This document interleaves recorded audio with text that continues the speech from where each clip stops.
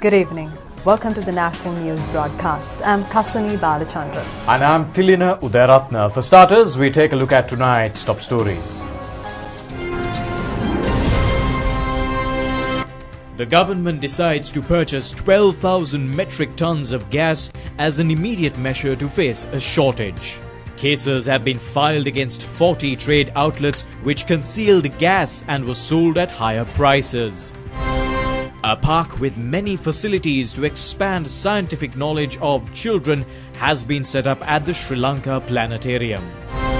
Sajith Premadasa says the request of civil defense officials to retire after 22 years of service will be fulfilled. A special program by the police to apprehend those who violate laws at the presidential election. The United Nations felicitates Speaker Karu Jayasuriya as the most excellent diplomat in South Asia. An emergency situation has been declared in New Delhi due to air pollution.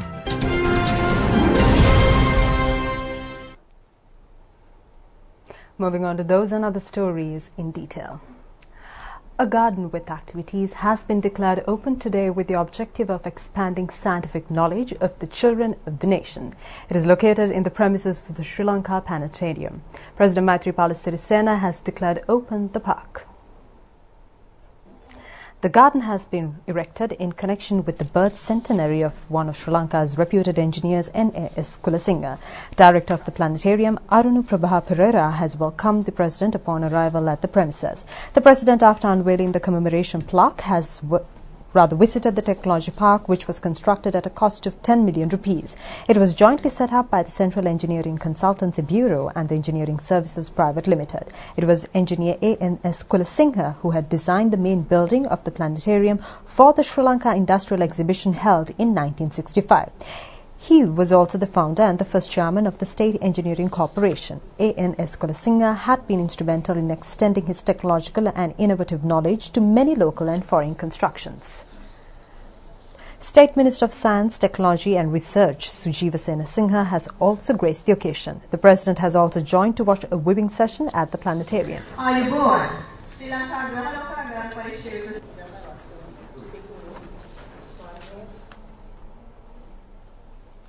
Prime Minister Ranil Wickremesinghe says that a new constitution will be drafted through the amalgamation of opinions of all with a unitary state. He was addressing a public meeting in Nelliyadi in Vadamarachi today. Prime Minister Wickremesinghe said that the entire country had voted in 2015 and had ushered freedom for the entire country. We must safeguard freedom in the country by not allowing room for the arrival of white vans. They are unable to go forward further without achieving consensus in the north and south regarding the constitution. He further said that Sajith Premadasa, upon becoming the president on the 17th, will engage in the task of creating a new electoral system, unitary state and devolving power to the provincial councils based on the reports and proposals presented by former presidents Premadasa, Chandrika Kumaratunga and Mahinda Rajapaksa. Presidential candidate of the New Democratic Front, Sajith Premadasa, says that the request of the officials of the Civil Defence Service to retire after a service period of 22 years will be fulfilled by a government under his administration. He made these remarks addressing a public rally in the Katagaskiliya bus stand in Anuradhapura today.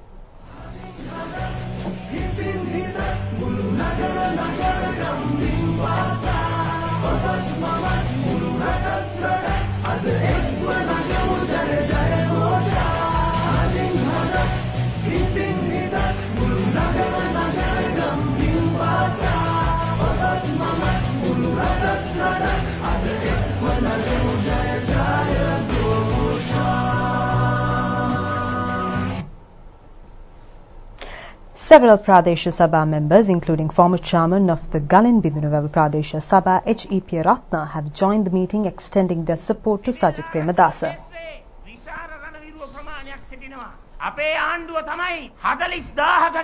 Presidential candidate of the New Democratic Front, Sajith Premadasa, said that it was their government which has made permanent the jobs of 40,000 gallant soldiers in the defense sector. The government has also devised a retirement scheme for them. The NDF presidential candidate further said that he will fulfill the request of the security services officials to grant retirement after 22 years of service period. He added that there are many kidney patients in the area as a result of the provision of inferior fertilizer and inferior chemicals by the previous government. He further said that under his government, they will not allow that to happen as they will expand the usage of organic fertilizer throughout the country. He added that special kidney units will be established in hospitals and the number of dialysis machines will be increased. He said that it was their government for the first time that has commenced the handing over of housing loans to kidney patients. විශේෂිත වූ වකුගඩු ඒකක අලුතෙන්ම ස්ථාපනය කරලා රුධිර කාණ්ඩු කරන යන්ත්‍ර වැඩි කරලා වැඩි පහසුකම් ලබා දීලා වකුගඩු රෝගෙන් පෙළෙන හැම පුරවැසියෙක්ම රැක බලා ගන්නට සජිත් ප්‍රේමදාස කටයුතු කරනවා. මම මතක් කරන්න කැමතියි මේ රටේ ප්‍රථම වතාවට වකුගඩු රෝගීන් වෙනුවෙන් නිවාස ආධාර ක්‍රමය පටන් ගත්තේ අපි කියන එක මම මතක් කරන්නට කැමතියි. Several public meetings to establish the victory of Sajith Premadasa was also held at the Vinayagar Stadium in Muliavale, Mulathiru. At these meetings, Selu Ramalingam and Jayajeevan Jayasundan, who had contested the Northern Provincial Council under the Sri Lanka Freedom Party, have extended their support to Sajith Premadasa.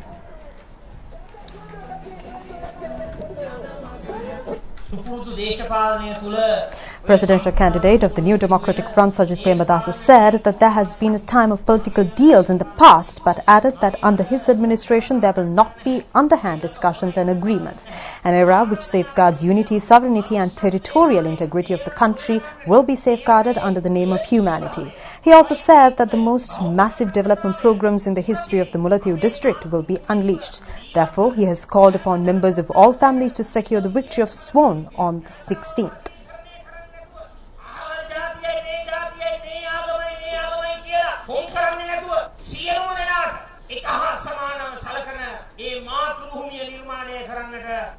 අපි ලෑස්ති. මම ආදරණීය මුලතිව් දිස්ත්‍රික්කයේ ජීවත් වන සෑම පවුලකින්ම සෑම පවුලේ සමාජිකින්ගෙන්ම මම ආදරණීය ඉල්ලීමක් කරනවා. අලුත් ශ්‍රී ලංකාවක් ගොඩනගන්නට අපේ ඒකීය ශ්‍රී ලංකාව සුරකින්නට අපේ බහුමික අඛණ්ඩතාවයේ ස්වෛරීත්වය එක්සේසත් භාවය ආරක්ෂා කරන්නට සියලු දෙනාත් දැනගෙන මේ මුළුති දිස්ත්‍රික්කයේ ඉතිහාසයේ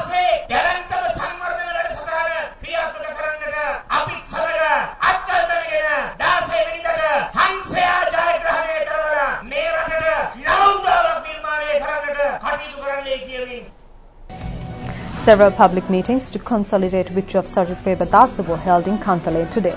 Sajith Premadasa was warmly received at these meetings. SLFP member and chairman of the Morawewa Pradesh Sabha, Venerable Pulhin Gudubaratna Thera, and Seruvila electorate organizer Nalin Gunwardana, as well as SLFP Pradesh Sabha member Chandana Karuna Tilaka have extended their support to Sajith Premadasa on this occasion.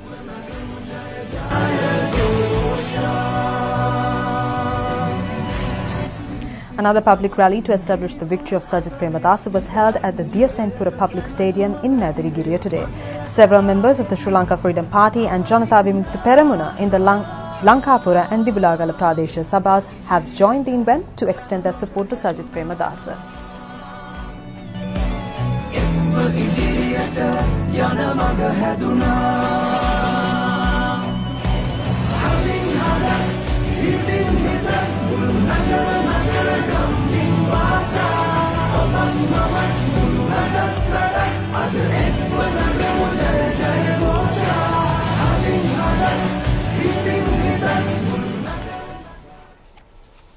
Well, around 40 sales outlets which have hidden and sold gas at higher prices were nabbed in raids conducted by the Consumer Authority. Measures have been taken to file cases against these errant traders and to conduct more raids in the days to come. The Ministry of Finance has taken measures to purchase 12,000 metric tons of gas as an immediate measure to face a shortage in the market. A ship carrying 3,600 metric tons of gas has reached the island for the second day. Another shipload of 3,600 metric tons is scheduled to reach the Colombo harbour on the 9th of this month. A further consignment of 6,000 metric tons ordered under the immediate purchasing program is scheduled to arrive in the island within the next week. Accordingly, the gas shortage is scheduled to end within this week. Therefore, the government informs the public not to be unnecessarily disturbed over the issue. Police media spokesman SSP Ruwan Gunasekara says that latest cameras will be utilized to identify those who violate election laws at the forthcoming presidential election. He made the remarks at a media briefing at the police headquarters.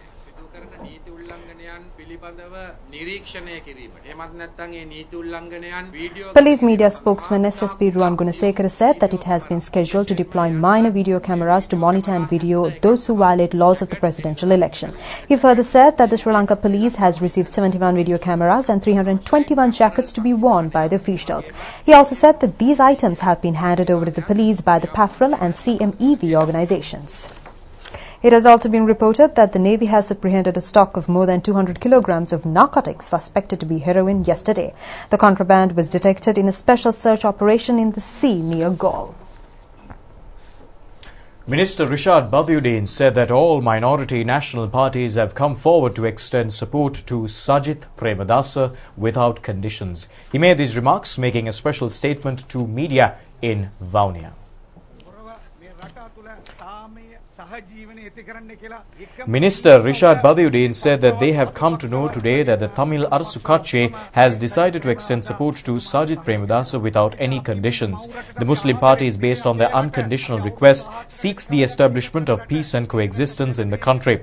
Therefore, he said that all Muslim plantation and minority parties express solidarity with Sajith Premadasa. They who have been living in this country for more than 1000 years are against any moves to divide, to conspire or to destroy the nation. They are against terrorism. Minister Rishad Bathiudeen said that the Muslim society holds the view that maximum punishment should be given to all those who had extended support to Zahran who had waged terrorism under the name of Islam. Presidential candidate of the National People's Power, Kumar Dissanayake, says that in order to reconstruct Sri Lanka, an administration devoid of theft and wastage will have to be established. Addressing in a public rally in Piliyandala yesterday, he said that his party will create such an environment if they are handing over power.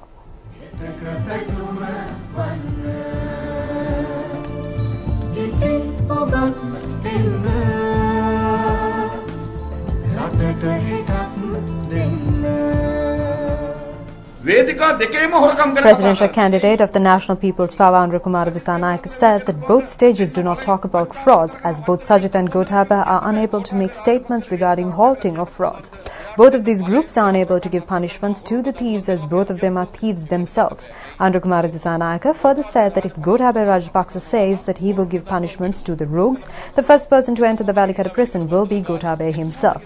He will have to enter the cell and lock and say that he will punish the offenders. The NPP presidential candidate also said that those who ruled the country for the past 71 years have destroyed and pilfered state property amounting to billions of rupees. He has promised to build the country free of corruption and wastage. He added that a bright future could be given to children only through proper reconstruction of the education system. Poverty has to be eliminated. Both agriculture and fisheries industries will be turned into profitable ventures. He further said that a self-sufficient country will be established within two to three years upon handing over power to the party.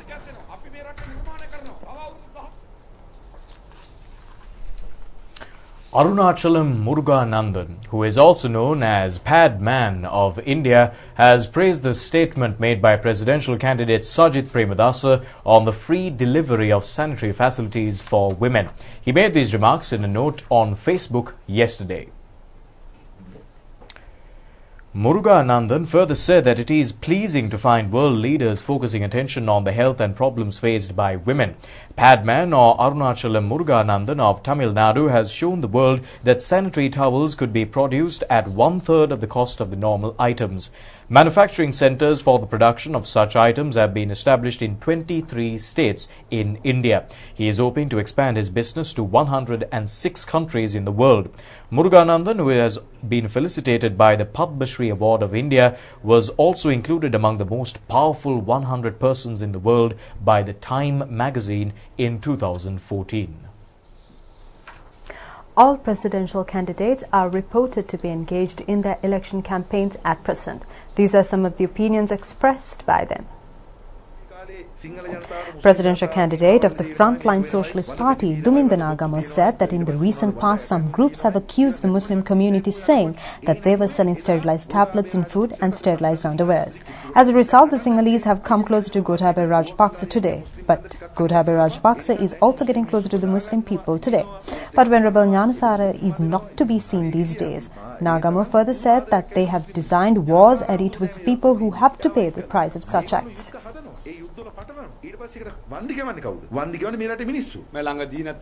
Independent presidential candidate MLAM Hizbullah said that conflicts could be anticipated in the times ahead as a 10-year-old communal crisis is prevailing in the country.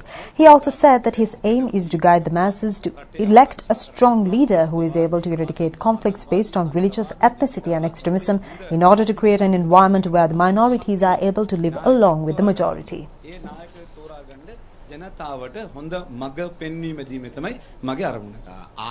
Presidential candidate of the Okkama Vasiya Okkama Rajavaru, Priyantha Muniheth Edirisinghe said that people in a country with massive economic resources are living in sorrow. The reason being the irresponsible acts without understanding of those who call themselves as political representatives. Priyantha Edirisinghe added that they have the ability to create a fully self-sufficient and developed country in five years' time.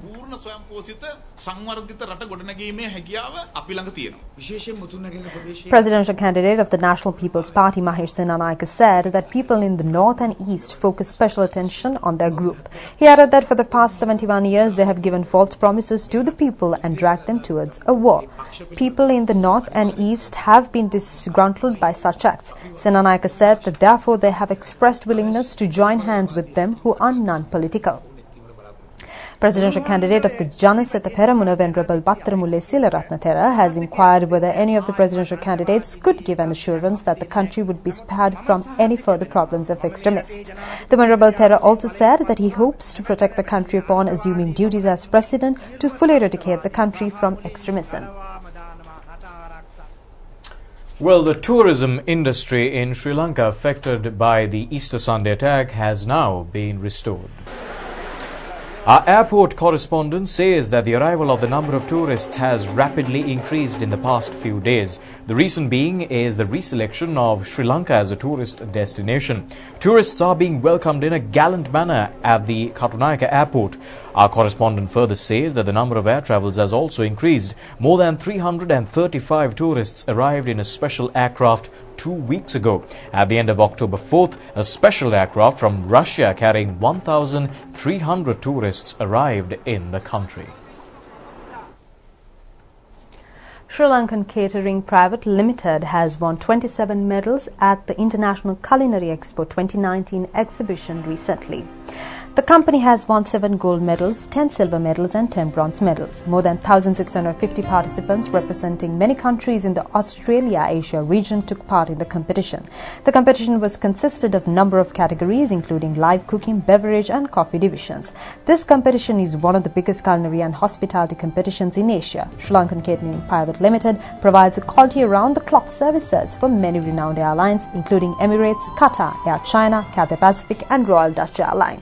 Recognizing its unstinted contribution towards the Sri Lankan export economy, Sri Lankan Catering Limited was awarded the Presidential Export Award 2018-2019 for Best Exporter Award Processed Food Sector at 23rd Presidential Export Award Ceremony. Chief Executive Officer of Sri Lankan Catering Private Limited has stated that the productivity rate of the service has been doubled in the past four decades.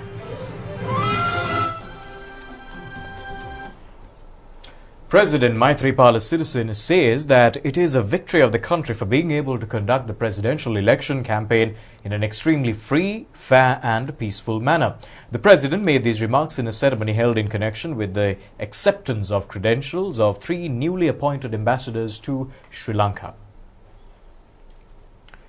The event was held at the President's house. Rabul Nash has handed over credentials as the new envoy of the Republic of Lebanon. Major General Chris Ease is the new High Commissioner of the Federal Republic of Nigeria to Sri Lanka. Denis Chaibi has handed over credentials as the ambassador of the European Union. The president, addressing the group of diplomats, said that he has been able to establish democracy in the country in the recent past. He added that this was due to political reforms carried out by the government. Parliamentarian of the Tamil National Alliance, M.A. Sumanthiran, says that a decision has been taken to extend support to presidential candidate of the New Democratic Front, Sajith Premadasa, without any conditions. The MP further says that 13 facts presented by his alliance has been withdrawn. The decision was taken at a Central Committee meeting of the Ilangai Tamil Arasu Party in Vavuniya yesterday.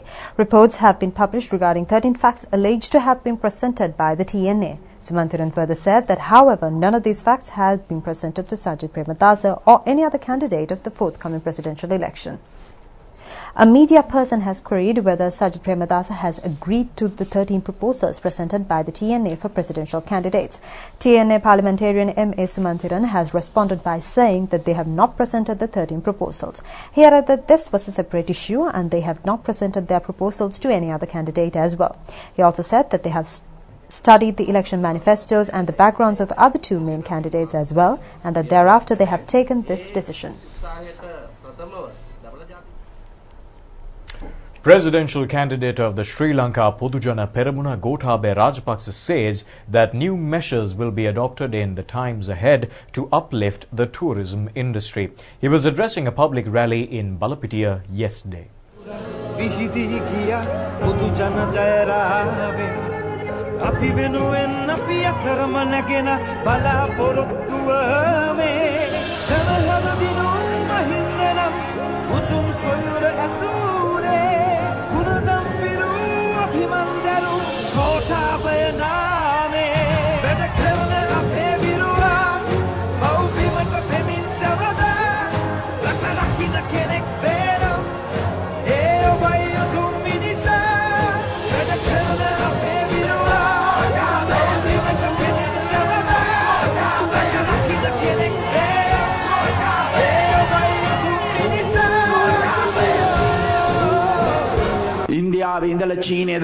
Presidential candidate of the Sri Lanka Podujana Peramuna Gotabaya Rajapaksa said that there has been a massive economic development in the Asian countries from India to China. A significant middle class has been created in these countries. People in these countries are now engaged in traveling. Sri Lanka should be made popular among such tourists. Such tourists should be encouraged through the facilitation of immigration and immigration laws.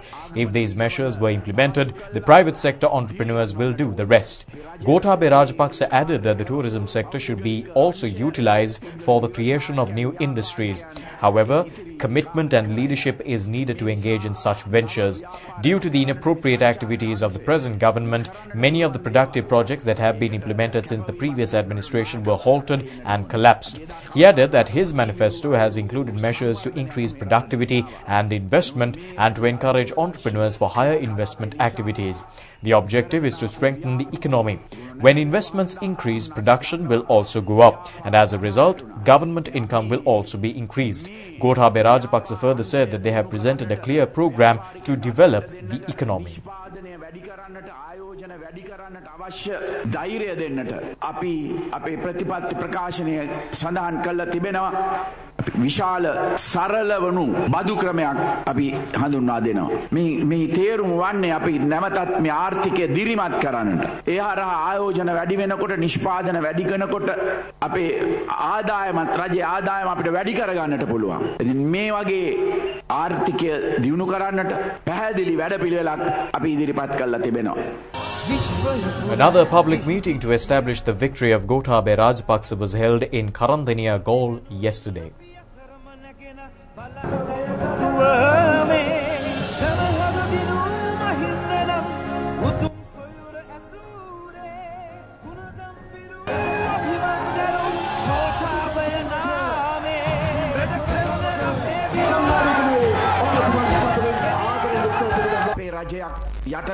Yet another public meeting had also been organized in Karapitiya, Galle. Gotabaya Rajapaksa said that he will promise to turn Galle into one of the rapidly developed cities in Asia. More tourists will be attracted and more business opportunities will be provided.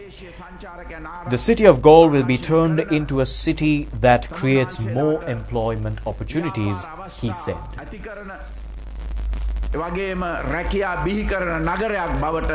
Galle නගරය පත් කරනවයි කියන පොරොන්දුව මන් ලබා දෙනවා.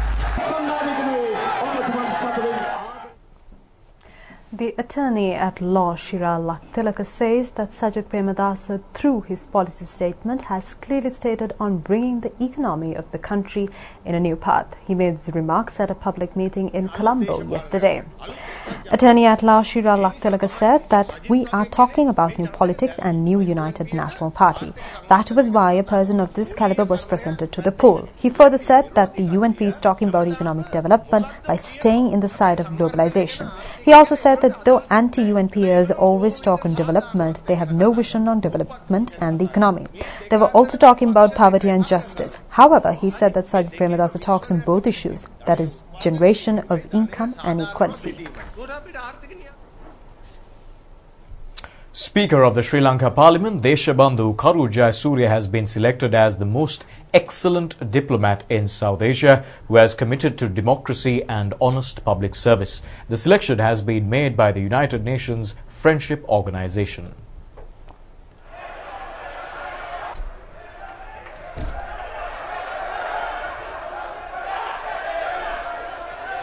The honorary award was presented to the speaker in a ceremony in Colombo yesterday. He has been felicitated for the courageous and constitutional measures taken in his capacity as the speaker to establish democracy in the country in the recent past. The United Nations Friendship Organization organized the awards presentation in connection with the 20th anniversary of the association. The ceremony was held under the patronage of several local and foreign diplomats, including General Secretary of the Bharata Sansad organization, Dr. Anil K. Singh, Lady Beverly Hill of the United States, and Muni Eroni. Parliamentarian and attorney at law Dayasiri Jayasekara has issued a communique regarding a conference scheduled to be conducted by the organization to protect the SLFP at the Indoor Stadium on the 5th of this month. He's released the communique in his capacity as the General Secretary of the party. The parliamentarian has stated that the Sri Lanka Freedom Party has decided to extend support to Gotabaya Rajapaksa through approval of the Central Committee and the Politburo of the party. He added that the decision has been taken following several rounds of discussions with the Sri Lanka Podujana Peramuna. Accordingly, a joint election procedure has been adopted with the Podujana Peramuna and also separately as the SLFP. The communique adds that several organizers and district organizers expelled from the party are conducting press conferences against the decision under the name Organization to protect the SLFP. Dayasiri Jayasekara further says that the act is contrary to the Central Committee of the SLFP and it is also an act of a group which betrays the party for money and privileges. The MP also says that therefore it is imperative to work with the leftist political forces in order to safeguard the party and the party members. On the same note, the National Conference of the Organization to Protect the Sri Lanka Freedom Party will commence at the Sugathadasa Indoor Stadium at 2 p.m. tomorrow. Former President Chandrika Bandaranaike Kumaratunga and former Minister Kumara Welgama will proceed with the ceremony to be conducted under the theme We Sri Lanka. Former Minister Kumara Welgama has said that 95% of the electorate organizers of the SLFP have urged not to abandon the party. Everyone is needed to safeguard the identity of the party. However, those who disregard such yearnings due to their power-hungry nature joined the Pohottua party with the aim of securing positions. He added that the SLFPers who are against the decision are rallying around the SLFP today. He also said that he has been functioning as the electorate organizer of the SLFP for 38 years and there is no other senior member other than him in the party. And now to give you a stock update, the all shares price index closed at 6,010.18 points, also dropped by 21.90 points, and the S&P SL 20 index closed at 2,981.81 points, also dropped by 8.53 points at the end of trading in the Colombo Stock Exchange today. The turnover was over 709 million rupees, and here's a summary of the market details of the Colombo Stock Exchange today.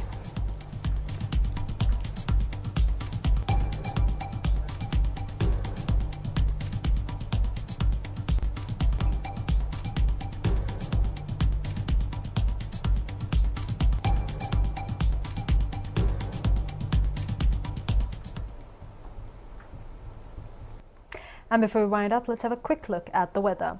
The Met Department says that showers or thunder showers will occur at several places in western Sabaragamuwa, central, southern and Uva provinces and in Anuradhapura, Kurunegala, Batticaloa and Ampara districts after 1 p.m. Fairly heavy falls, about 50 to 75 millimeters, can be expected at some places in central Sabaragamuwa and Uva provinces. Misty conditions can be expected at some places in western Sabaragamuwa, central, southern and Uva provinces during the morning.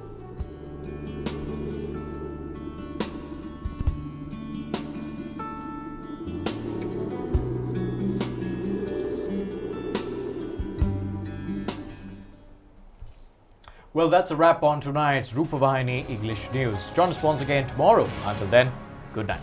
Good night.